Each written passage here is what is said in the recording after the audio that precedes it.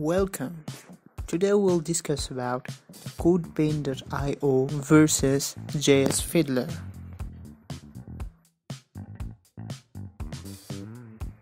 JS Fiddle is an online community for testing and showcasing user created and collaborational HTML, CSS, and JavaScript code snippets known as Fiddles. It allows for simulated Ajax code.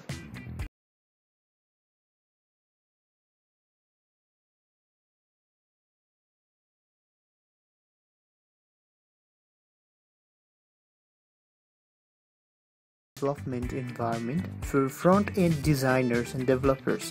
It functions as an online code editor and open source learning environment where developers can create code snippets, creatively names, pens, and test them efficiently.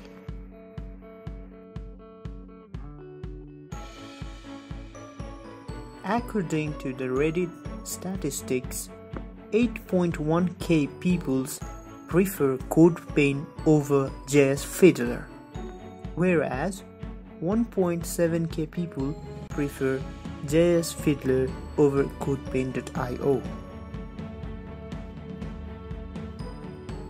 CodePaint.io provides very user-friendly design and also the very efficient user created activities and showcase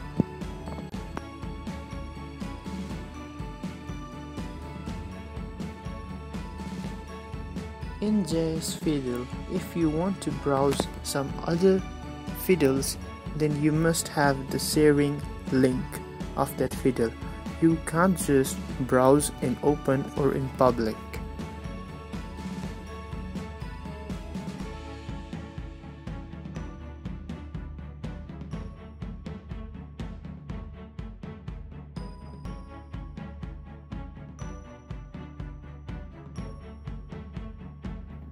Due to its vast majority of the code CodePen community, the showcase has grown a lot.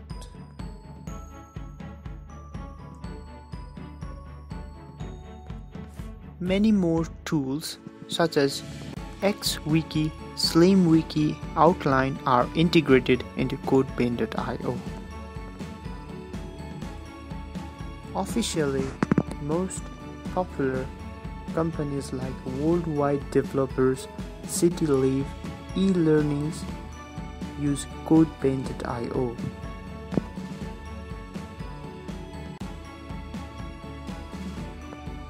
Besides being both competitive and efficient, I prefer both of them to be working just fine as I expected it to work.